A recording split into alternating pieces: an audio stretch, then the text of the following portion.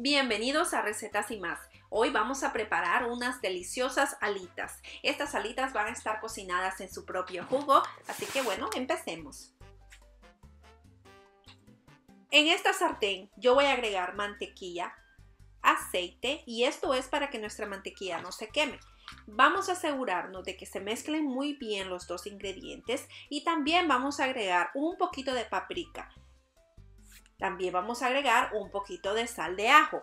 Si no tienes paprika, puedes utilizar achiote. Esto es nomás para darle color a nuestras salitas. Si no tienes sal de ajo, agrega el ajo bien picadito, el fresquito, ese te va a servir muy bien.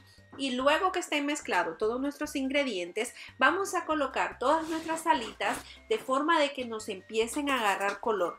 Esta sartén que yo estoy utilizando no es muy grande, sin embargo me caben muy bien mis alitas porque les quité la puntita, esa puntita que realmente no necesitamos porque no tiene carne, no tiene nada, es nomás huesito y pellejo. Entonces la quité y acomodo mis alitas Ahora lo que yo voy a hacer es que las voy a dejar cocinar por unos 15 minutos, pero voy a asegurarme que agarren un juguito, que agarren un colorcito doradito, que queden muy bien.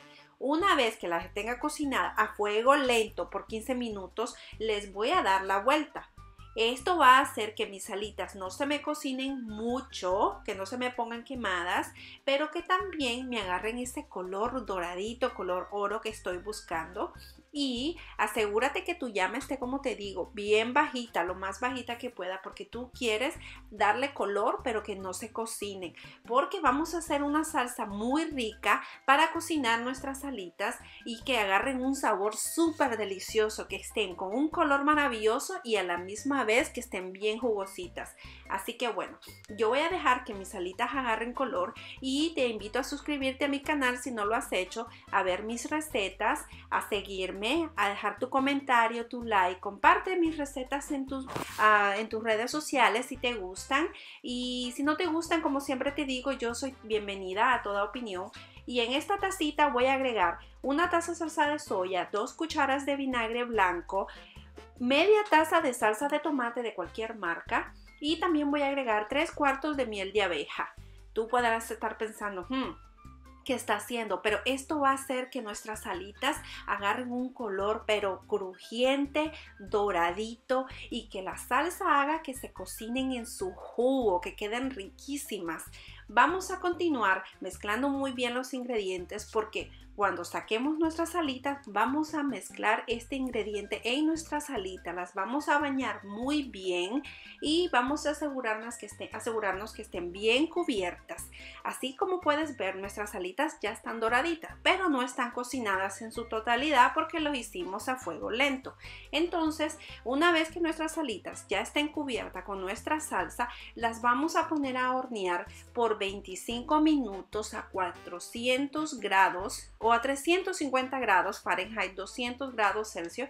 Tú asegúrate de que queden bien cocinaditas que queden bien ricas, bien jugosas, te lo aseguro, 25 minutos y listo. Ahora, yo aquí tengo mi plato ya con un repollo ahí, con, perdón, con una lechuga ya adornadito. También voy a utilizar mi salsa ranch. Si tú no sabes hacer salsa ranch en casa, checa mi lista de videos, tengo muchas. Eh, tengo la salsa ranch, puedes ver otra receta con alita, ahí sale cómo hacer la salsa ranch en casa con ingredientes muy sencillos. Así que bueno, aquí están mis alitas, no compres más no necesitas pagar, son muy baratas, es muy económico hacer alitas y lo más, lo más rico es que son en casa, que las puedes hacer a tu manera con el sabor que tú quieras. Le puedes agregar chile, las alitas picantes quedan muy ricas. Y mira, estas alitas quedaron bien cocinaditas, bien jugosas y con un sabor increíble. Son unas alitas únicas, así que te invito a hacer esta receta.